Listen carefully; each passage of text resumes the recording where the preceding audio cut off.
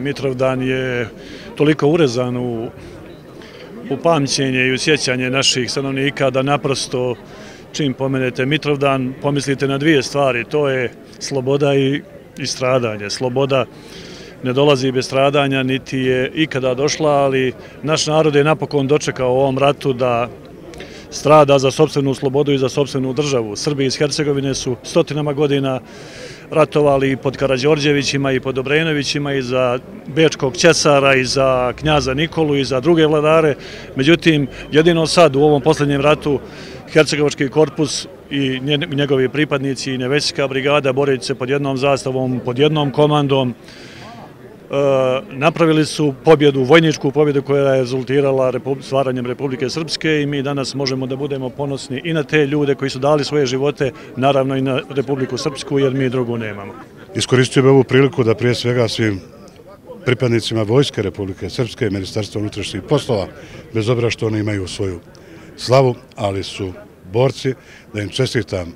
krsnu slavu boračke organizacije sa željom da u dobrom raspoloženju, zdravlju, proslave današnji dan, da evociraju uspomene na slavne dane odbrane slobode srpskog naroda i stvaranje Republike Srpske. Dakle, oni isti koji su htjeli da slijedeći ideologiju Pavelića u sadejstvu sa Hrvatskom vojskom, sa redovnom Hrvatskom vojskom, sa E, potomcima Hanđar divizije su htjeli da završe posao koji su njihovi preci počeli, a to je da Srba zapadno od Drine ne smije da bude. Oni su e, htjeli da trećinu pobiju, trećinu prekrste i da trećinu presele, ali e, hrabri hercegovački narod, slobodarski narod, slobodarska Hercegovina je i 92. i 94. godine pokazala šta znači svoja zemlja, šta znači sloboda, šta znači grobovi svojih preca, šta znači ono sve što je utemeljeno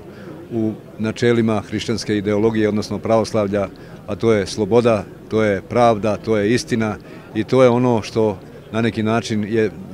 u svakoj civilizovanoj zemlji dostupno, a to je pravo na život i pravo na slobodu. Nevesinje je za vladu Srbije jako važno u pogledu sporazuma o specijalnim vezama, gde je vlada Republike Srbije pomažući i druge projekte na teritoriji Republike Srpske, a pre tome poštujući apsolutno